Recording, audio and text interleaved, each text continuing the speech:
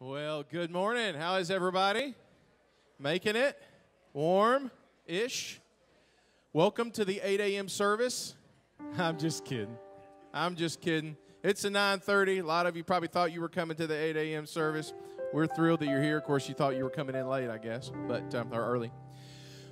Wow. But we're here, and it is the 9:30, and we made it through time change and snowpocalypse and everything else that did or did not happen. So uh, we are glad. If you're a guest, we are certainly glad that you're here as well. And we would love to ask a favor of you. If you don't mind, at the bottom of your bulletin, the sheet of paper you received as you walked in, uh, there's a thing called a communication card. It tears right off. Would you do us a favor and fill that out? Uh, certainly, if you have any prayer needs as well, uh, we would love to have a record of your visit, the fact that you were here, uh, and uh, that would be your gift to us. Just drop that in the offering later on in today's service, if you don't mind. Uh, that would be wonderful. Hey, if you're a student, uh, grade 6 through 12, or the parent of said student, uh, you need to know that April 7th through the 9th is our Station Hill Spring Retreat. That is coming up. Registration is now open for that. You can go to our website, stationhillchurch.com, and sign up for that.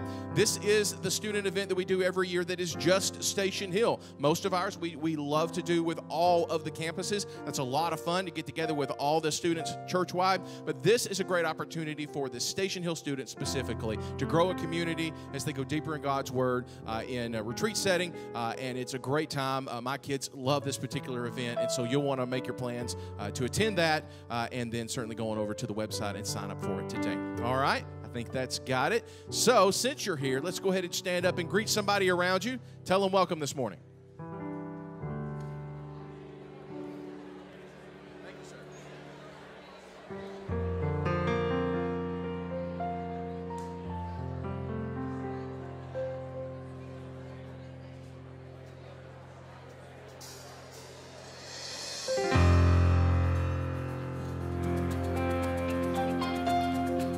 Morning. Welcome to worship. Let's begin today by reading Psalm 34 together. Would you read with me? I will bless the Lord at all times. His praise shall continually be in my mouth. My soul makes its boast in the Lord. Let the humble hear and be glad. Oh, magnify the Lord with me, and let us exalt his name together. I sought the Lord, and he answered me and delivered me from all my fears. Those who look to him are radiant, and their faces shall never be ashamed. This poor man cried, and the Lord heard him and saved him out of his troubles. The angel of the Lord encamps around those who fear him and delivers them. Oh, taste and see that the Lord is good. Blessed is the man who takes refuge in him. Let's fill this room this morning with the praises of our God. He's worthy of our songs today. Let's sing together. Praise is rising.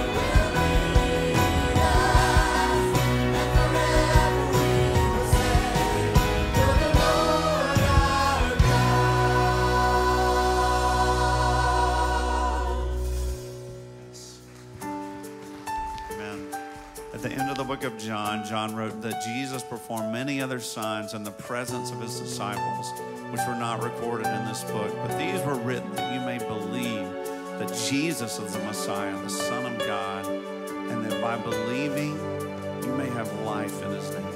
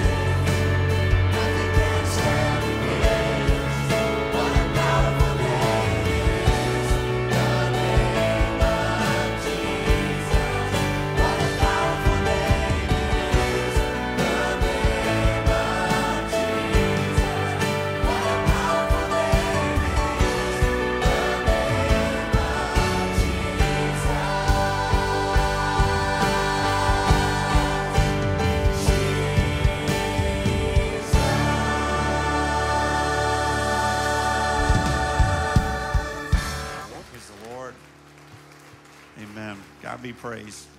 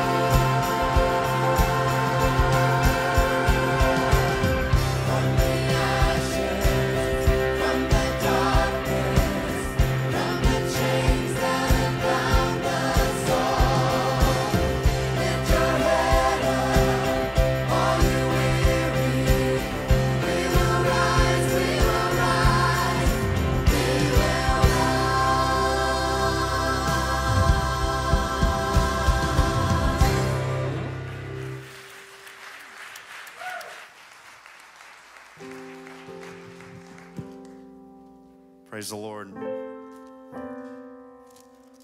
It's great to be part of the body of Christ, isn't it?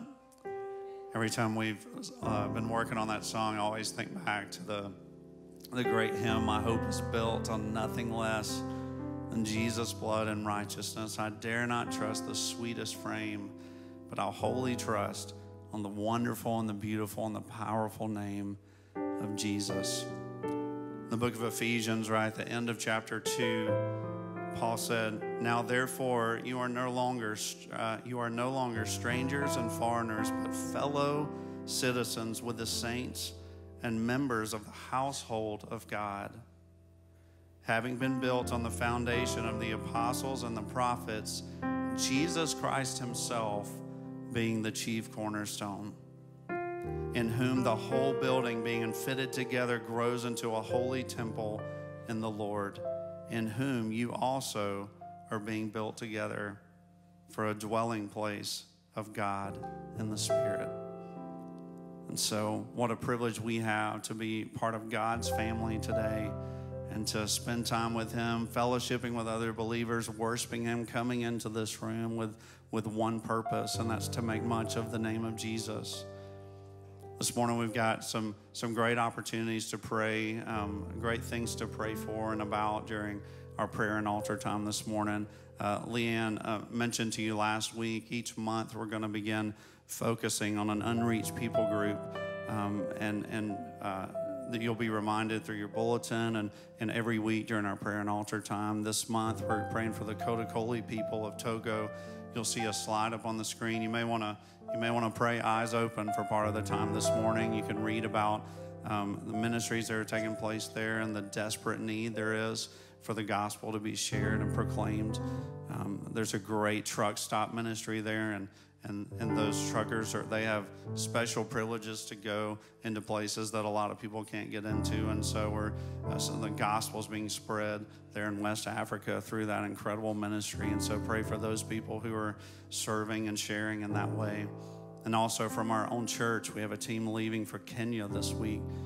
That's a long ways away, you know what I'm saying? So we want to pray for them. They've got a big trip coming ahead and some great opportunities there on the field. And so you may see uh, team members come uh, down to pray. You may just want to uh, put a hand on one of them and pray for them. You'll see their names up on the screen. And I would just encourage you to, to call their names out to the Lord um, and, uh, or even jot them down so you can pray for them while they're traveling, while they're um, uh, serving the Lord on the other side of the planet in the name of the Lord and, and representing uh, us, representing the church at Station Hill. And so, great things to pray about this morning. This altar is going to be open. I'd encourage you to take advantage of that. Our pastor is going to be here praying.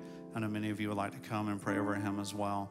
Let's give this service to the Lord today. Let's set our eyes on him and knowing that he has a great plan for our time together this morning. Let's pray together.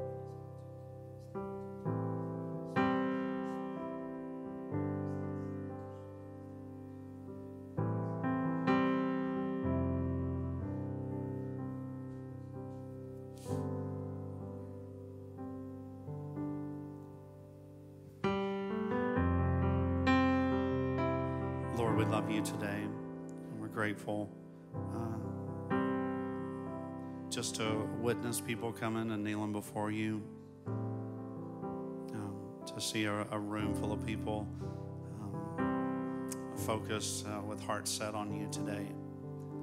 Lord, we so much to pray about. God, we're so grateful for a, a church that recognizes your movement here in this building and here in this community and here in Middle Tennessee. But Lord, uh, sees and, and knows that you're moving and working and saving uh, all across the world and who wants to be a part of that.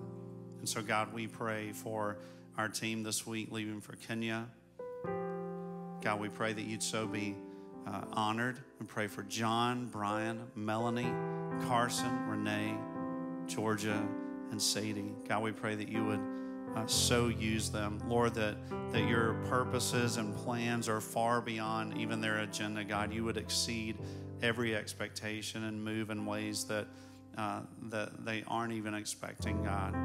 Give great opportunities, uh, knowing that they're prevalent uh, there, God, to, to share the gospel and to see lives changed by the power of the name of Jesus.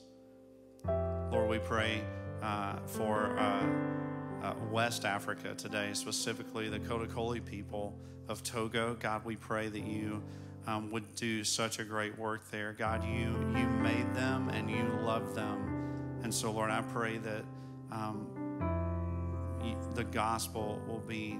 Um, uh, prevalent in that area, God, in the days ahead, that you will give us uh, open windows of, of greater opportunity than ever before to see Jesus uh, become a, more, a common name there, God, a name that they can say that they've heard and a gospel message that they know, knowing that it'll change them forever.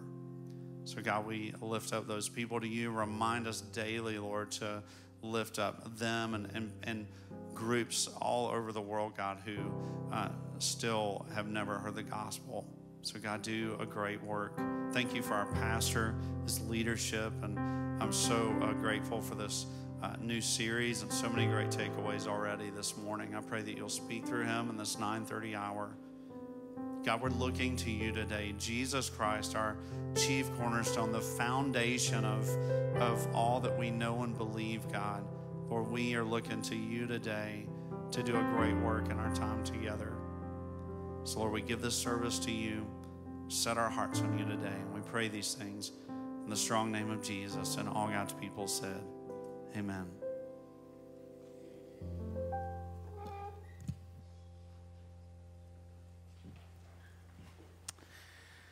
Well, amen. Thank you, Cliff and worship team and choir for that time of worship. Uh, he probably couldn't have picked a better Sunday with the lyrics, Lift up your head, all you who are weary. Can I get an amen uh, on Time Change Sunday? So, uh, so I'm glad that you guys are here and you made it to be with us. And even if you meant to be here for the 8 o'clock service, that's cool. We're not going to tell anybody, okay? Uh, just glad that you're here at 9.30. Uh, well, today, uh, during this time, we're thinking about our Hope for the World mission offering. And there's a phrase that I want to get into the life of our church, so you're going to hear it often, and it's this it's the light that shines the farthest shines the brightest at home. The light that shines the farthest shines the brightest at home. If you think about it, if you were going to set up literally a floodlight on the top of our church building and get it to Kenya, where our team is headed next week, if you were going to get it to our other partners in Guatemala or in Nepal or in other parts of our country or even in other parts of our city, that would have to be a super bright light, right? But the closer you were to it here at home, the brighter it would be in order to reach that far. And the same is true of us as followers of Jesus Christ. When we try to get the news out about his wonderful name to the people who have never heard it, the farther it shines, it means it shines even brighter in our hearts here at home. Why? Because we're consciously thinking about the ways that we can pray and give and go and be a part of what God's doing, not just over there, but here in our own hearts as well. And so today, as we see these images that are going to be on the screen in just a moment, as we pray for our mission partners, I want to remind you that our Hope for the World mission offering isn't just for Christmas time. It's all year round. As a matter of fact, it helps our partners to not get all just a, a lump sum at one time at the end of the year, uh, but for our giving to be continual to help them as they minister 365 days out of the year to people in some of the darkest corners of the globe. And so your giving makes that possible. So will you join me as, I, as we pray together? As our ushers come forward this morning. Oh, Father, thank you that it has been so good for us to be in this place this morning and sing about the wonderful name of Jesus. God, I pray that the desire of our heart is not to keep that news to ourselves, but Father, to share it with others, to allow that light to pierce the darkness as far as the four corners of the earth. And so, Father, as we see images of our mission partners and our mission journeys got up on the screen in a few moments, as we reflect on what you're doing in and through our people throughout the world, God, I pray that you will take our tithes and offerings. And just like the little boy with his loaves and fish, God, that as we surrender those things to you, God, that you will use them, that you will multiply our efforts, and that many, many people will see and hear that Jesus Christ loves them and that He is Lord and Savior of all. So, Father, bless our time of worship through giving, and it's in the name of Jesus we pray. Amen.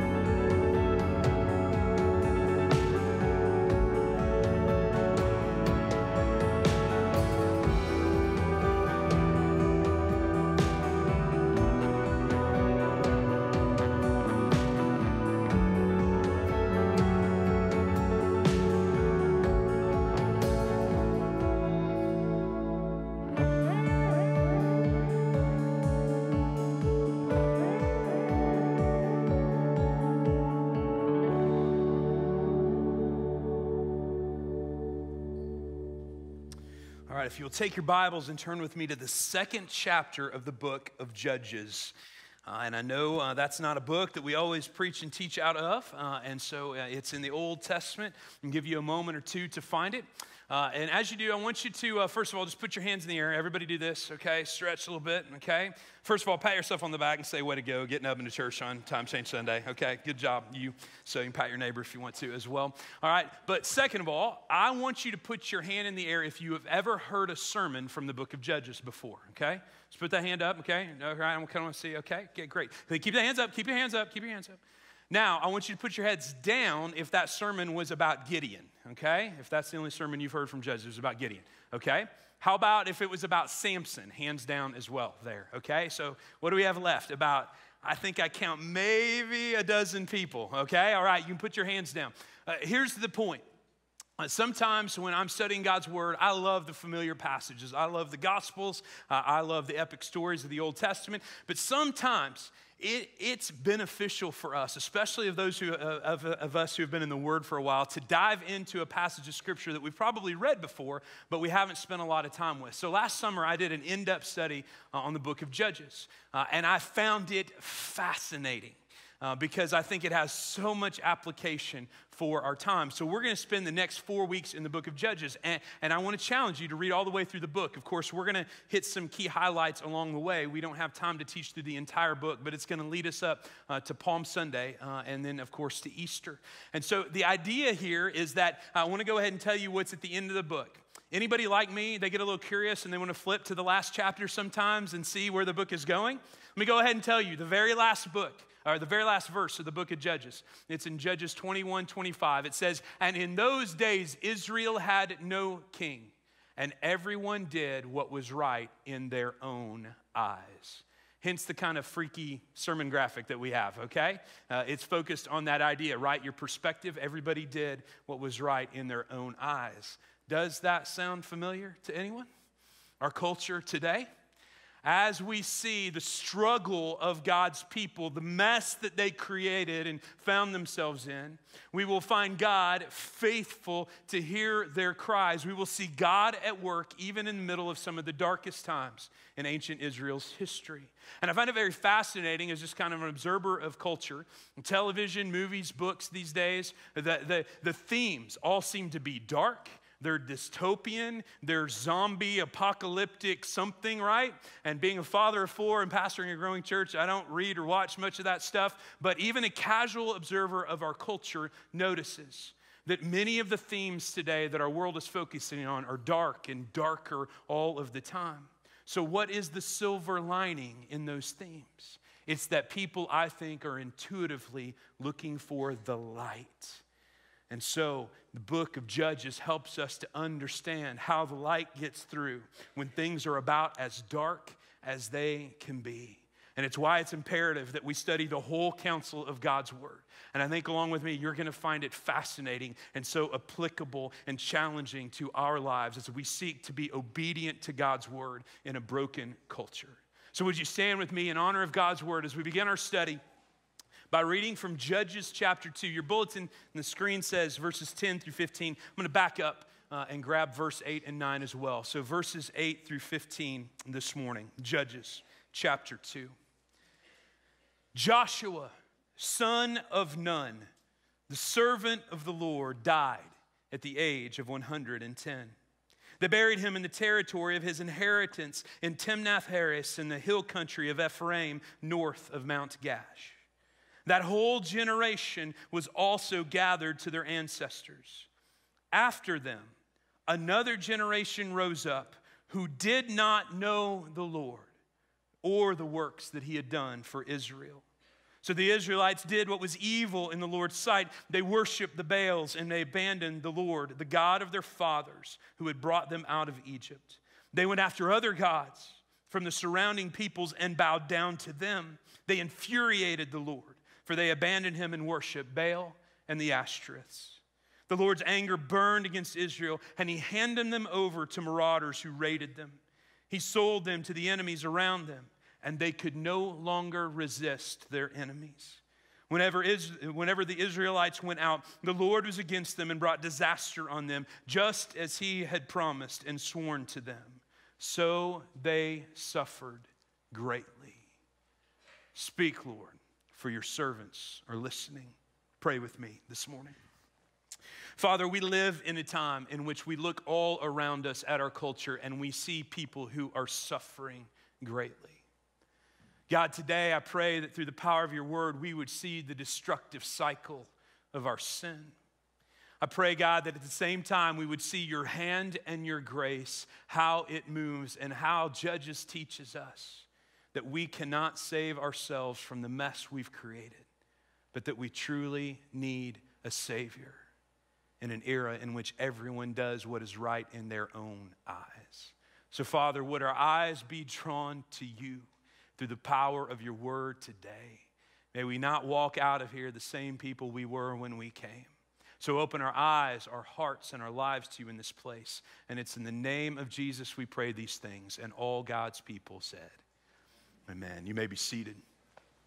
So, you want to keep your Bibles out, and so I'm going to hit you with a lot this morning as we set the table uh, for this series. As we do anytime we start a new book study, you need to always ask yourself the good questions. Who wrote this book? About what time was it written? What was the historical context? What was taking place? So that we can pick up where we are in the story. Just like when you see the opening of a movie, you have to try to figure out what's going on. Anytime we dive into a new book of the Bible, we want to ask those kinds of questions. So we know that as far as the biblical narrative goes, that God's people had now been led by Moses out of the promise or out of Egypt and to the doorstep of the promised land. Moses, because of his sin, was not able to go into the promised land, and so that fell to the generation of Joshua uh, to be able to lead God's people, Joshua and Caleb, into the promised land.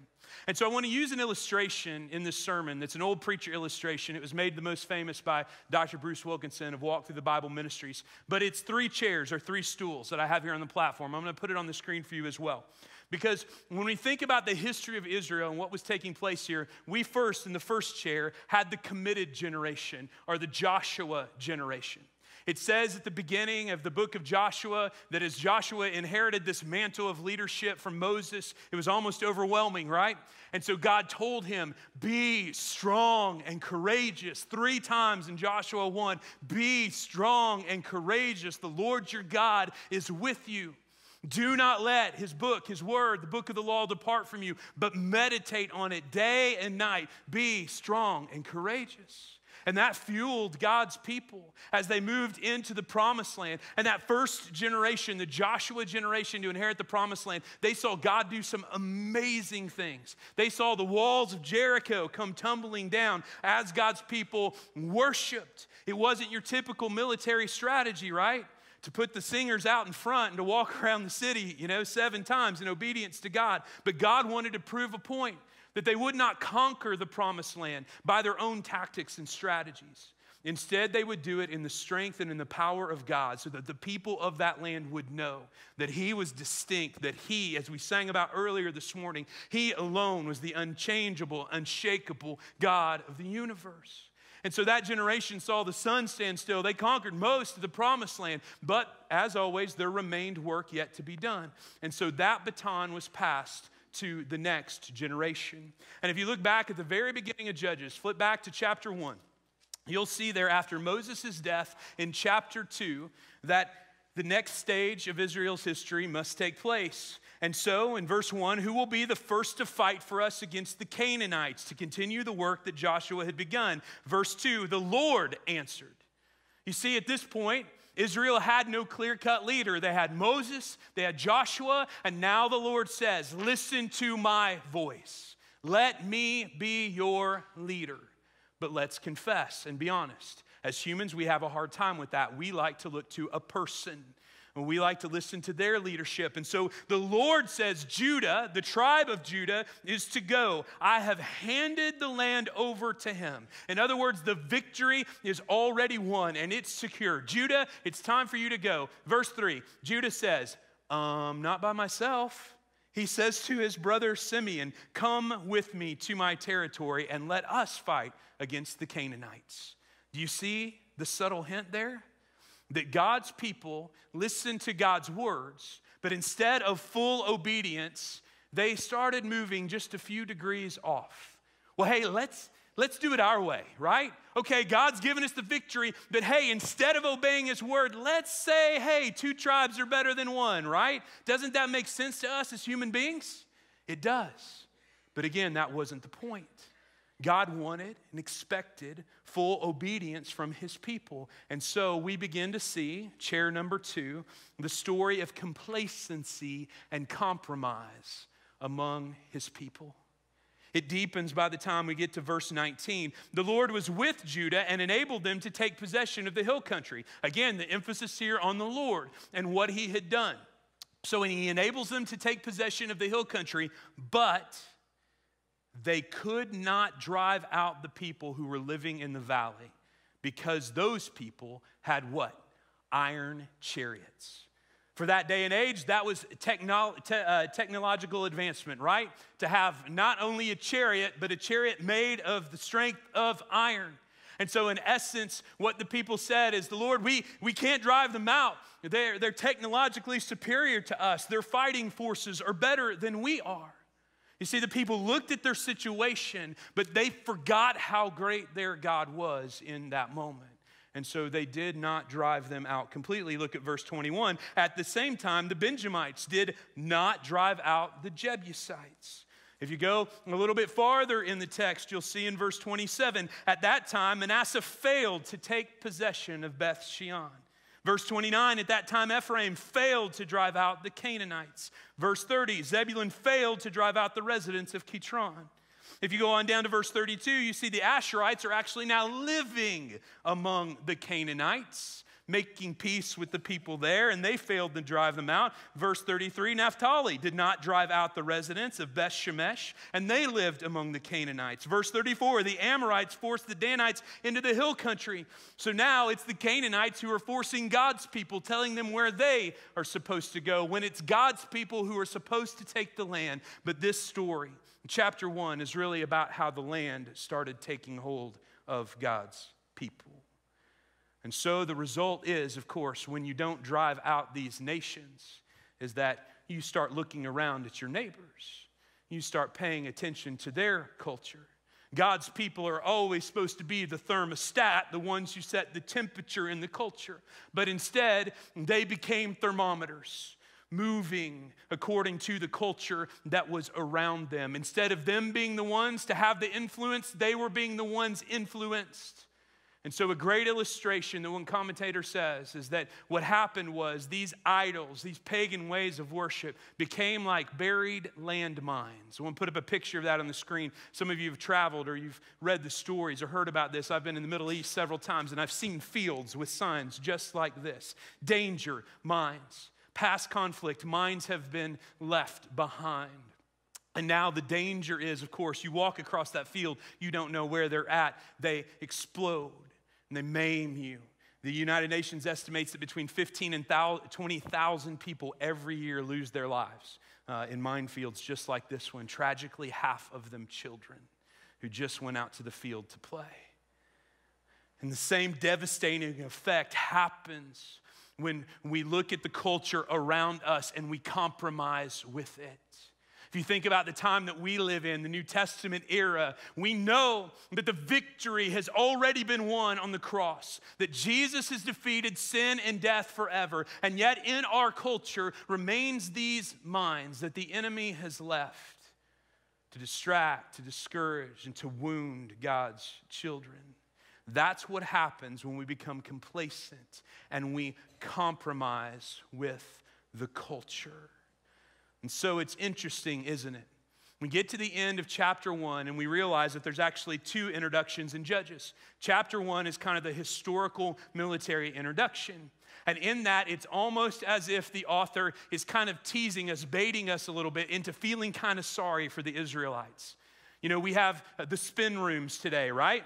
Where politicians or commentators will get up and they will try to put their spin on things. And that's almost exactly what it seems to be, uh, seems to be happening in the way that the events of chapter one are being laid out. Don't you feel sorry for the Israelites? I mean, this conquering the promised land stuff, that's hard work, isn't it? I mean, to drive out these people completely, I mean, can't we just all get along and just kind of settle down and live side by side and just kind of figure it out as we go? I mean, after all, they have iron chariots, people, right? So we can't drive them out completely. It's fascinating to turn to chapter 2 and see God's perspective because chapter 2 is the spiritual introduction to the book of Judges. And if I can find my Bible, put it on this stool. I always put it on that stool, so threw me for a little bit. Chapter 2 gives us that perspective. Beginning of chapter 2, the angel of the Lord went up from Gilgal. Wait a minute. Angels live in Gilgal? Here's the intentionality behind that statement. If you go back in the book of Joshua, Gilgal was the place that God's people had made a promise to him. They had made a promise to him that they would obey him fully and serve him only. And so that's there as a reminder to us God says, Remember the last time you talked to me? You made a promise. Now the angel of the Lord comes up from Gilgal to Bochim and said, I brought you out of Egypt and I led you into the land I had promised your fathers. I also said, I will never break my covenant or my promise with you. You are not to make a covenant with the people who are living in the land, and you are to tear down their altars, but you have not obeyed me. Do you hear chapter one? The Israelites saying, God, we can't. Do you hear what God is saying in chapter two? It's because you won't. You see, when God calls for obedience, He will never set us up for failure. He is true to His word every time. And even when it doesn't make sense to us, even when we don't understand it, our God, the God of the big picture, does. And so when He calls you to obedience, He calls you to full obedience, or consequences will result. The natural consequence of your decision to not drive them out means this, verse 3 Therefore, I now say, I will not drive out these people before you. They will be thorns in your side. Tim Keller says this about this illustration. He says this is a very illuminating description of what idolatry is and does. You see, idolatry is taking often a good aspect of creation. For example, your marriage or the mountains, the outdoors, creation, your business and your achievements, so on. But you make that into the ultimate source of security, identity, and power. So false gods are a thorn. When we make something into an idol, it continually makes us miserable. You might want to write that down because it is so true. When we take a good thing, when we try to make it an ultimate thing, that thorn, that idol continually makes us miserable. We look to it for life, but it cannot give us life. It only takes life. He says this if we fall short of it, or if we even might fall short of it, it robs us of our joy. So there are a lot of us who live a joyless, unhappy existence. Why? Because we are pursuing something, trying to look for life in it, and it will never give us life back. For example, he says, if our children are our false God, when their lives become troubled, we will lose our joy. Or even when their lives might become trouble, which is all the time. Can I get an amen, parents? We will worry and we will lose our joy.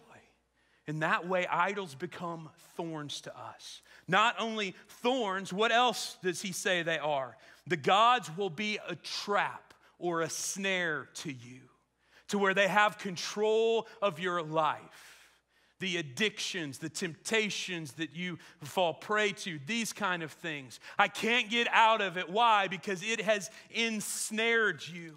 You have allowed it into your life to the point that it's got you. So when the angel of the Lord had spoken these words to all the Israelites, the people wept loudly. Why? Because they realized the result of what they had done. And they realized that God was not going to make it easy on them like a loving parent. He was going to make sure that they continually were looking to him. He was not going to make it easy and remove the peoples and the idols of that land. Instead, the people were now, because of their disobedience, going to have to live among those idols. Just like in our culture, we have to live with all of the idols that are all around us. And now, for most of us, when we think about these Old Testament times, it's tempting to think, well, I'm not tempted to bow down to something carved of wood or stone. Oh, no brothers and sisters. Our idols are much more deceptive, aren't they? They're things that we call achievement or career or money or popularity or success. You see, our idols are much more deceptive, but they take hold of us in the same way. After all, our culture says these are the things that define you, these are the things that make you somebody. Well, look at the result of what happens when you've got a generation that has been complacent, that has allowed those things to coexist alongside of them. Look at what happens next. Verse 10 After them, another generation rose up who did not know the Lord, nor the works he had done for Israel. So now you have a generation, chair three, that is in conflict. Is in direct conflict. So, what happened? The Israelites did what was evil in the Lord's sight. They worshiped the Baals and they abandoned the Lord, the very God who had rescued them as a people out of Egypt. What devastating words. It says a few verses later, they worship the Baals and the Ashtoreths, okay, which is a word for the Greek goddess Astarte. And so you begin to get this picture, much like we have in our culture. It's not that the Israelites said, no more Yahweh, we're going after Baal. No, it's that they compromised. And so they began to do a mix and match religion in which they tried to pull different pieces from both the religion they had inherited from their forefathers, the worship of Yahweh, but also the worship of these Canaanite gods. And I've been there to Israel. I have seen their altars. I have heard the terrible stories about what happened around those altars. I cannot repeat them in mixed company in church. They were an evil people, and that God uh, God's people participated in that kind of worship is devastating. And so you have a generation that now is completely broken.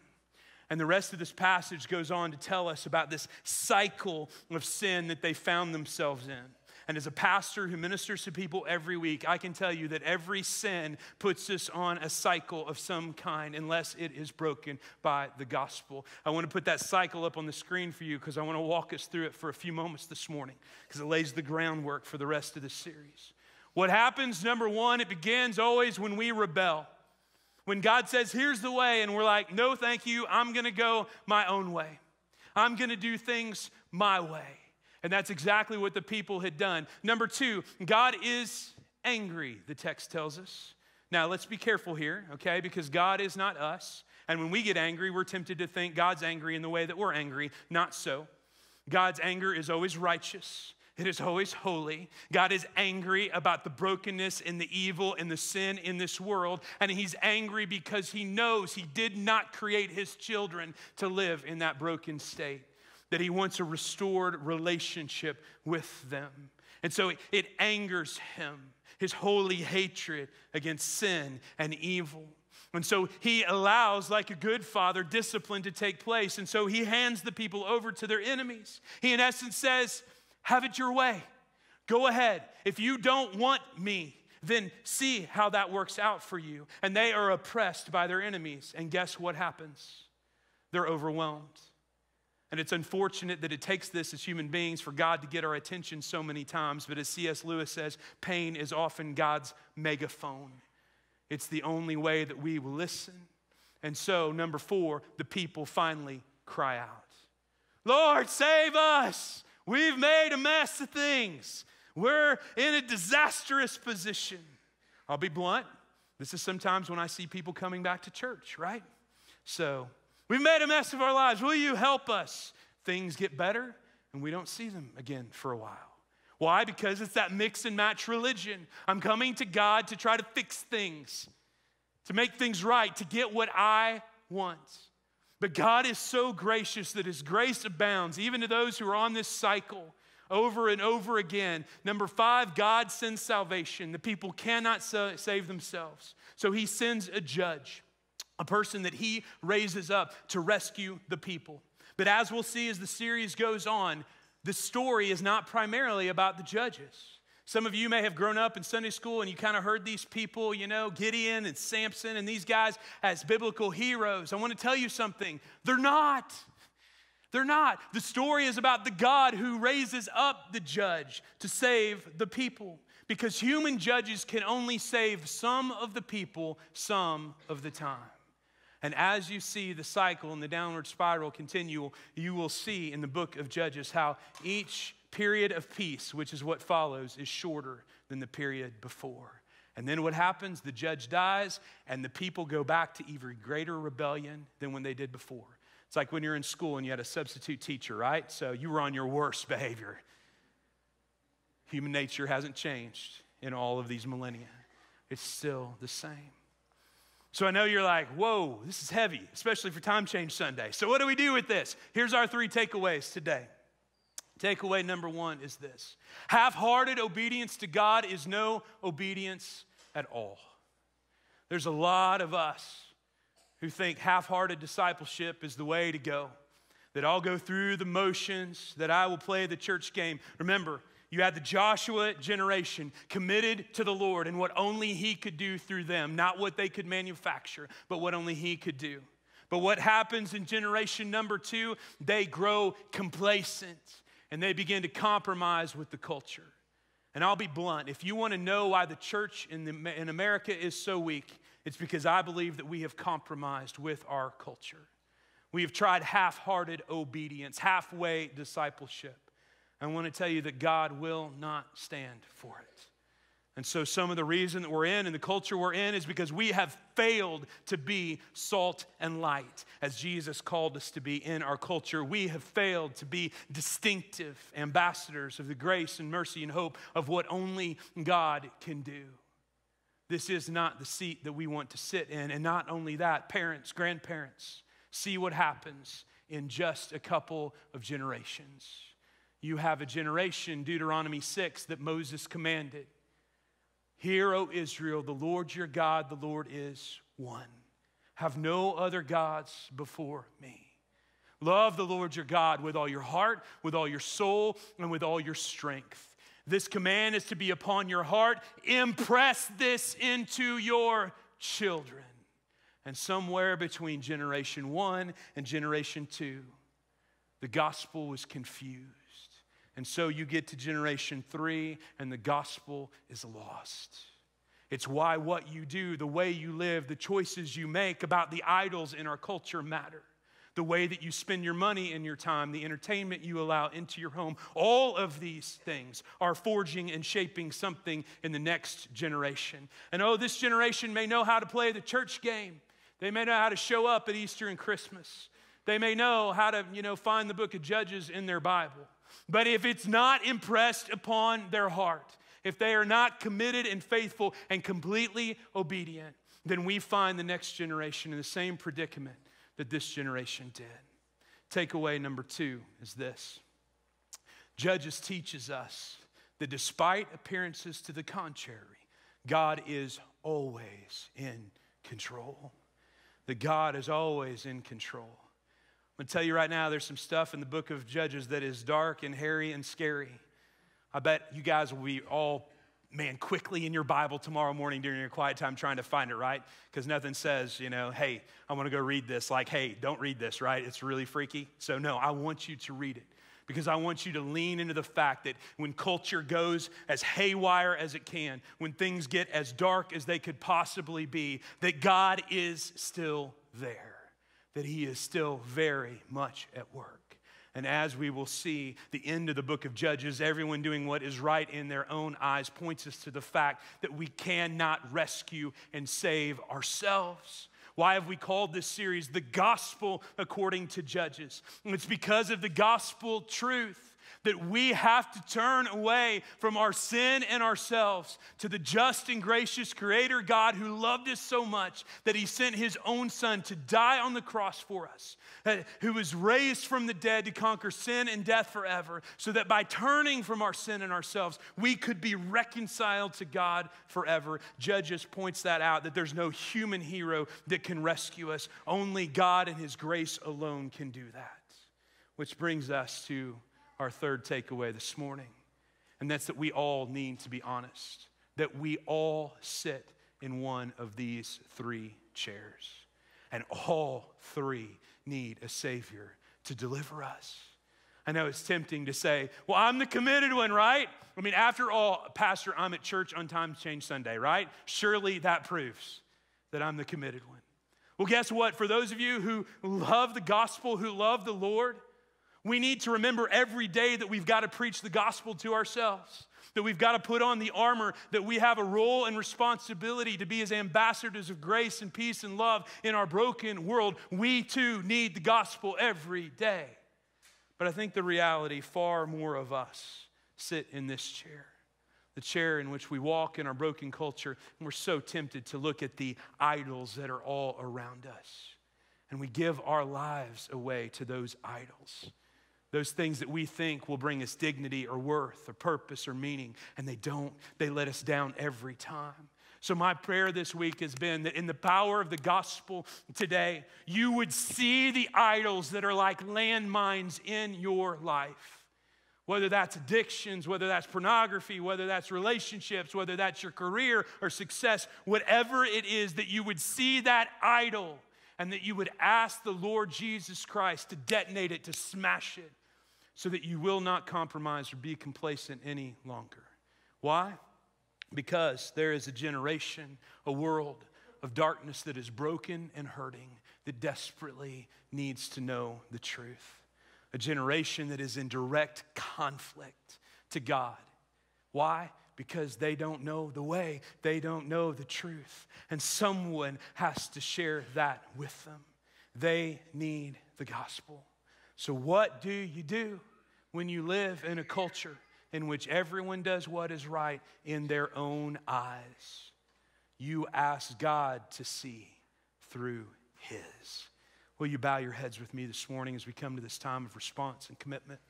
I know I've thrown a lot at you today, but like I said, this is so applicable for our world and our lives today. Which chair do you sit in today? What is your need for the gospel? As I've said, all three chairs, all of us, the answer is the same Jesus.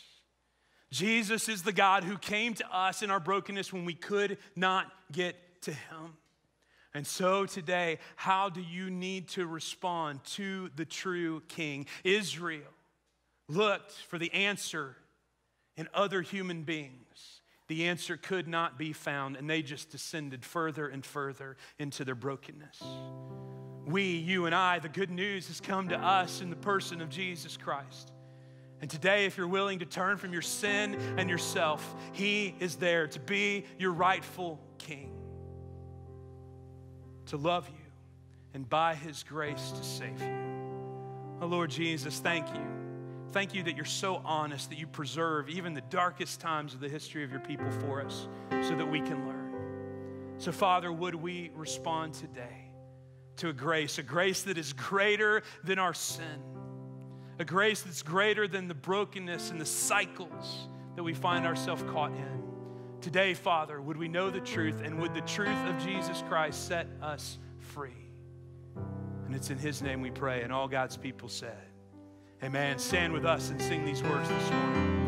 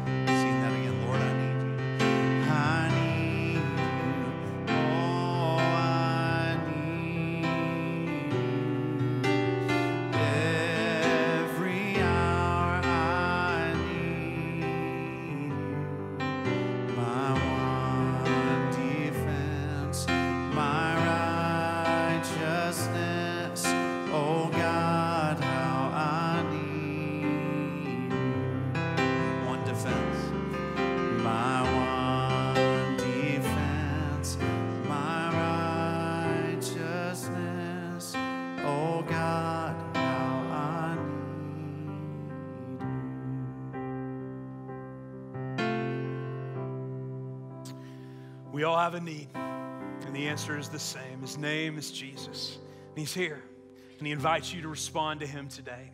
In just a few moments, I'm going to be down front. Our decision counselors are coming now. They're going to be to my right and my left, so there are plenty of people for you to talk and pray with. If you need to know the God, the God who loves you, the God who came for you in the person of Jesus. That's why we're here, and we invite you to respond today.